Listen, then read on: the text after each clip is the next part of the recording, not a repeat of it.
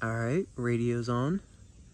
Dozer is on. Let's get to a little bit of ripping. This is the 114 scale RC four-wheel drive hydraulic dozer. Now to turn on the pump in the actuator, which is in the back right here, that's that red brushless motor that you can see. That's all you do is flip this down and then you have controls of your bucket. You have the side to side, which is up here and it goes 32 degrees to one side. The other is the angle of the ripper in the back. And then this is what does the ripper going down. So I will show all of you that working right now. So we have to get up and over this rock right here. A little bit of slippage on the right track, but it gets up no problem. You see it's leaving some paint on the rocks right there.